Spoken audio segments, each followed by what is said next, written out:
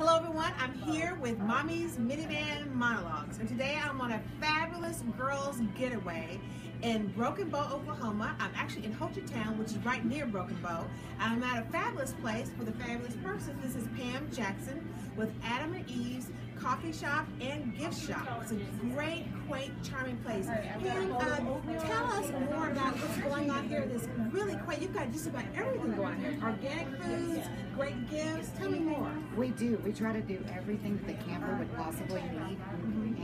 And also the vacationer.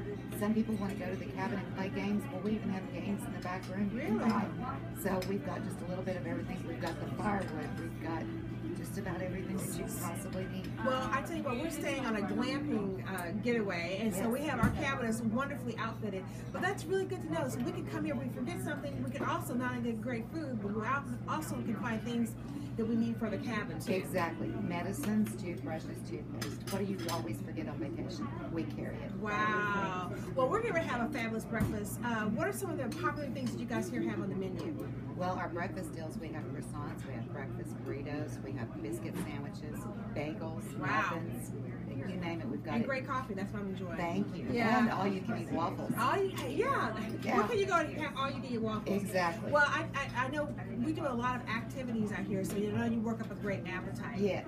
And Yes. so, and the other thing too is it's one of the really unique places that are here in McCurtain County. There's a, just a, a wonderful uh, amenities and attractions, and this is definitely one of them. Well, thank you. Yeah.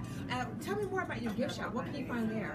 In our gift shop, you can find everything from the little bitty kids' toys all the way up to the Corinthian bells, which is probably my number one seller here. Wow. Why so? It's a wind chime. It's got a lifetime warranty on it. Uh huh.